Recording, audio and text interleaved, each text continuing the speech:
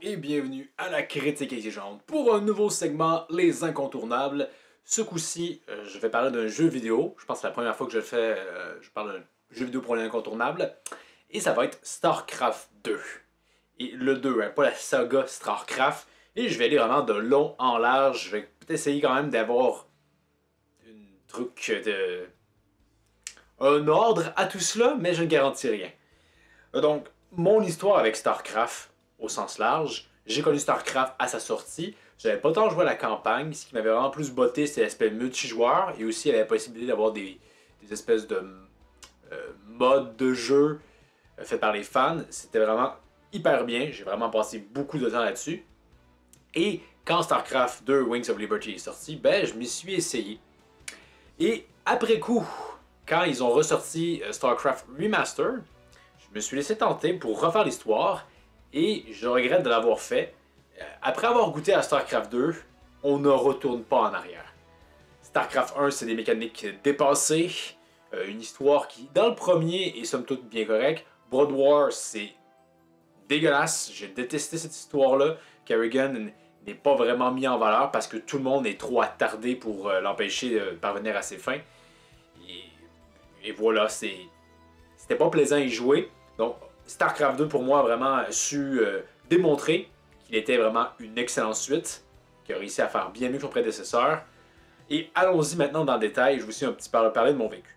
Donc, si StarCraft 2 pour moi c'est un incontournable, eh d'une part c'est que c'est un gameplay qui a juste superbement vieilli. Je crois que le jeu a eu ses 15 ans tout récemment.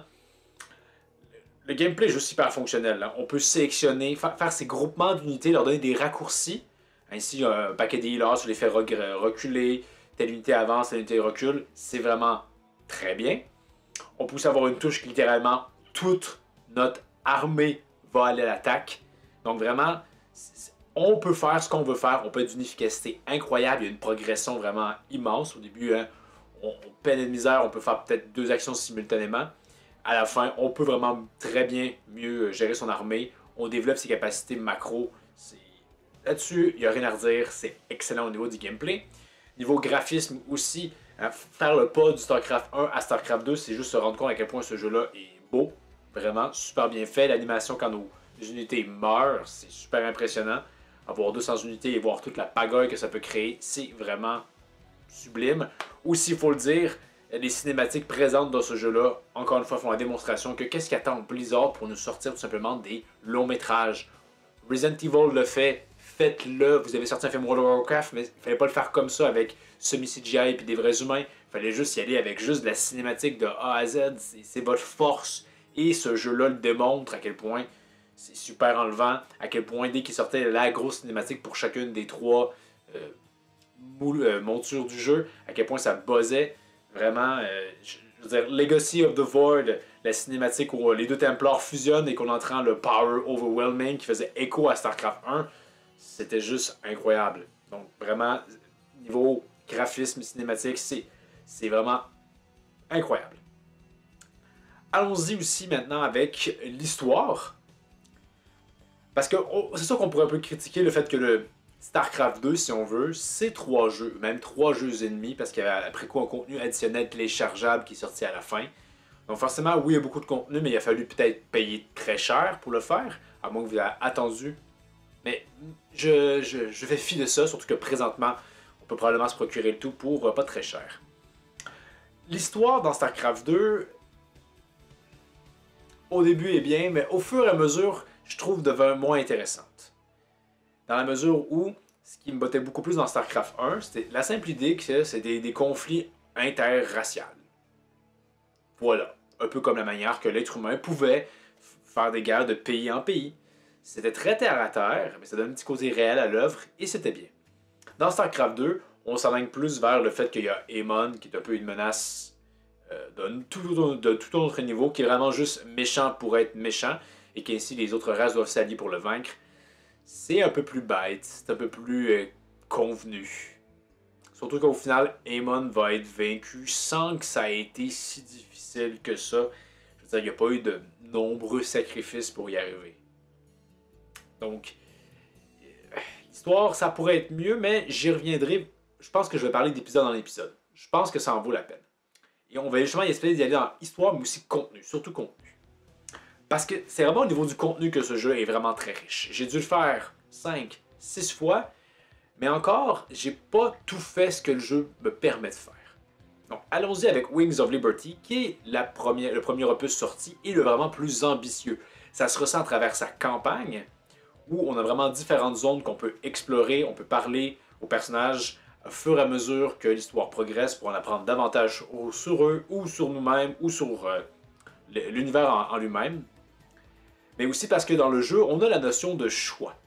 Ça arrive, je pense, à trois reprises qu'on peut faire un choix qui va un peu avoir un impact sur le reste du récit. Et c'est quand même, ça reviendra pas plus tard et c'est malheureux. Mais c'est super intéressant à ce niveau-là. Surtout, par exemple, à la fin, on peut faire un choix que soit qui va impacter notre bataille finale.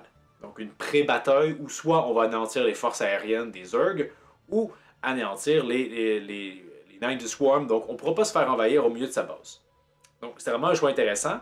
Et ce que j'aimais beaucoup de cet opus-là, de c'est justement que on a des quêtes secondaires qui fait qu'on va développer des, débloquer des capacités, soit je pense du type Terran ou Zerg, parfois sont assez pétés, comme par exemple à la toute fin, on peut avoir un artefact qui permet de contrôler les troupes ennemies Zerg, c'est pas rien. Mais à chaque fois qu'on atteint un, certain niveau, faut choisir entre une des deux branches et l'autre sera barrée, on ne pourra pas la réutiliser. Et ce qui est vraiment bien, je trouve, c'est que pour éventuellement avoir accès à l'autre branche, il ben, faut juste refaire la campagne et faire des choix différents. Donc ça pose vraiment une rejouabilité complète de l'histoire, ce qui est, à mon avis, très bien. Ça, nous force à rejouer. Et en plus, à travers ça, ben justement, les choix scénaristiques, on pourra en faire d'autres. Donc vraiment, c'est une bonne campagne. Et aussi, j'aimais quand même malgré tout bien l'histoire. Le personnage de Tigus, on sent qu'il sous roche, qu'est-ce qui se passe? Il y a des revirements de situation à la fin. Et euh, la cinématique finale est juste super, est vraiment très bien faite, je trouve. Et James Renner est un personnage assez intéressant à travers l'œuvre. Donc, c'était vraiment un très bon point de départ, à mon avis. Ensuite, on a Earth of the Swarm. Les orques, c'est ma race préférée. Malheureusement, ce deuxième volet de StarCraft 2 est celui que j'apprécie le moins. Parce que l'histoire est juste ennuyante, je trouve. Wings of Liberty, ça se finit sur Raynor qui parvient hein, à sauver Kerrigan, la, la dé-Kerriganifiée. En fait, il sauve Sarah, en fait, hein, tout simplement. Mais elle, elle redonnait Kerrigan de sa propre volonté dans cet opus-là. Tout ça pour rien, hein? On me dira que le scénario gère ce, truc-là, que justement Kerrigan veut du pouvoir, retrouver ça, et qu'au final, elle, plus, elle redevient Kerrigan, mais pas exactement la même Kerrigan qu'avant. Oui, mais je sais pas. J'aurais préféré peut-être une autre avenue. J'ai toujours un peu l'impression quand même que ce qu'on a fait était un peu en vain. Bien que, je le sais, le scénario va travailler aussi dans ce sens-là. Mais je sais pas. D'autant plus que, bon, c'est le Kerrigan est un peu glorifiée dans. Elle est un peu un petit peu une Mary Stu, je trouve. Elle arrive à parvenir à, tout faire. Il y a aussi vraiment des raccourcis, je trouve, scénaristiques, comme on nous dit que finalement il y a des Zerg dans une autre planète lointaine, des Zerg primales. Je, trouvais que ça jurait un peu euh, dans, l'univers. Aussi, elle va vaincre un Zerg hein, qui est vieux d'un millier d'années. Ça, aussi, c'était euh, pas super. Quoique, là, il y avait un combat de boss euh, vraiment à même le jeu, ce qui était quand même bien. Par contre, je suis pas entièrement sûr si on avait juste, justement pour ce combat de boss-là, juste repris un petit peu la, gimmick d'un des boss dans Diablo 3. Il faudrait voir les trous de développement, mais n'empêche que, je peux saluer que ça faisait que la mission était différente de genre de mission qu'on pouvait faire quand même dans StarCraft, qui, je le répète, est un RTS. Je ne l'ai pas dit au début, mais j'imagine que vous connaissez quand même un peu ce qu'est StarCraft si vous regardez cette vidéo. Aussi, dans ce opus-là, on commence quelque chose qui va être repris euh, dans aussi Legacy of the Void, c'est-à-dire qu'on a encore des on peut personnaliser cette fois-ci nos troupes, mais on peut défaire ça en tout temps. Donc, prochaine mission, tu dis, ah, finalement, l'ultralisque, tu veux pas cette amélioration-là, tu en veux une autre, ça, ça se défait automatiquement. Faisant en sorte que finalement, il y a moins de rejouabilité pour la campagne, parce qu'il n'y a pas de choix scénaristique. Puis en plus, ben, tu n'es pas obligé pour avoir accès à tel truc, faisant en sorte que s'il y avait une mission que tu n'aimais pas beaucoup, ben, tu peux ne jamais la refaire moi, ça, me chicote un peu. C'est sûr qu'on va me dire, ouais, mais t'aimais pas cette extension-là, donc c'est tant mieux pour toi, mais je sais pas. Justement, peut-être que des fois, on passe à côté d'une émission parce qu'on la comprend pas et on n'y reviendra jamais. Si je nous force et que finalement, oh, on, comprend mieux quelque chose et qu'on réapprécie cette émission-là, ben tant mieux à, ce niveau-là. Aussi, les personnages apportés dans ce jeu-là sont pas non plus hyper enlevants, je trouve. Mais surtout, c'est la, finale. Manx, était un peu la, grosse menace, mais que si on connaît Broad War, on se dit qu'en fait, c'est pas vraiment mérité. Mais il se fait vaincre très facilement. La mission finale est la plus facile, je pense, de toutes les extensions. Je sais pas si, t'as dit que le Wings of Liberty, qui avait une mission finale quand même assez difficile, se sont dit que c'était trop dur, faut faire plus facile. Je trouve ça dommage. À ce niveau-là. Et aussi, il faut, faut, le dire, euh, la cinématique avait fuité. Le pré-rendu, si on veut, la, cinématique finale avait pré-fuité. C'était pas très impressionnant, je trouvais, scénaristiquement parlant. Et ben, c'était juste ça. Ils ont pas voulu changer. Ils ont dit, bon, ben, on va, on va poursuivre malgré tout. Je sais pas, moi, l'idée que Manx, toutes ses troupes se font démolir la gueule, puis qu'il est quand même serein et sûr de lui parce qu'il se dit juste qu'il y a un artefact qui va pouvoir vaincre Kerrigan. Ton armée quand même annihilée, ça n'a pas beaucoup de sens, à mon avis. Mais heureusement, StarCraft 2 se termine très bien, bah, terminant, très bien avec Legacy of the Void qui cette fois-ci porte sur les Protoss. J'aime beaucoup cette extension-là parce que les Protoss sont un peu comme les, les Grecs dans, StarCraft, c'est-à-dire c'est davantage des philosophes, ils aiment bien avoir des discussions métaphysiques et qui je trouve sont assez intéressantes. Dans le jeu, on traite beaucoup de hein, tradition versus, si on veut, évolution. Et je trouvais ça, ça, ça me bottait assez bien. Il y avait aussi toute l'histoire avec le personnage de Phoenix qui va revenir, mais pas vraiment en fait, parce que c'est vraiment juste une intelligence artificielle qui va l'imiter à la perfection, mais pas tout à fait, parce qu'éventuellement, il va se rendre compte qu'il est qu'une pâle copie de Phoenix et devenir le propre lui-même. Et quand il en parle, ce qu'il décrit, je trouve que c'est riche en réflexion, c'est super intéressant. Donc vraiment, si ce qu'il se disait dans le dernier jeu, je trouvais ça plus ou moins pas intéressant, juste comme je veux me venger et voilà. Ici, ça allait plus loin que ça. Hein, le, sentiment de fraternité, d'évoluer. Et encore une fois, les cinématiques sont juste incroyables. Spoiler alert, mais le duel entre Artanis et Zeratul, c'est juste chapeau. C'est tellement épique. J'en frissonne juste en parlant. Donc vraiment, là, l'histoire, on récupère le tout. Au niveau euh, de ce qu'on nous offre, cette fois-ci, la, particularité, ben, dans Dernier Opus, on avait Kerrigan, un héros puissant qu'on contrôlait à peu près tout le temps, puis qu'on pouvait modifier ses pouvoirs. Ici, on a The Spear of a Doom, qui est un vaisseau qui nous offre des capacités qu'on peut choisir, et qui sont assez pétées. Là-dessus, je vous dirais que ça facilite un peu trop le jeu. Mais aussi, ce qui est par contre vraiment très bien, c'est que nos unités sont plus développées que jamais. Je pense que dans le dernier opus, euh, au mieux, on avait peut-être deux, deux, personnalisations de certaines unités. Ici, c'est jusqu'à trois. En fait, pratiquement, les, certaines unités sont tellement transformées qu'elles deviennent de nouvelles unités, faisant en sorte que les assemblages, les, possibilités ne sont pas infinies, mais sont vraiment très élevées. Il y a encore plein d'unités que j'ai pas vraiment tant joué avec. Et dans le prochain, euh, dans le prochain séance que je ferai, je vais essayer d'exploiter les différentes unités que j'ai pas encore fait. Et c'est là vraiment pourquoi je trouve que StarCraft 2 c'est un incontournable. C'est juste la, richesse du gameplay et de ce que le jeu nous offre, c'est incroyable. Encore une fois, on me dirait que on a carrément plus deux jeux et demi qu'un là-dedans, donc ça s'explique comme ça, mais juste Wings of Liberty tout seul était, à mon avis, déjà tout simplement sublime. Ils ont fait juste rajouter un peu plus de crémage sur ce gâteau qui était déjà excellent. Et on, on va quand même conclure avec Nova Spec Ops, qui était, je pense, 6 à 8 missions supplémentaires.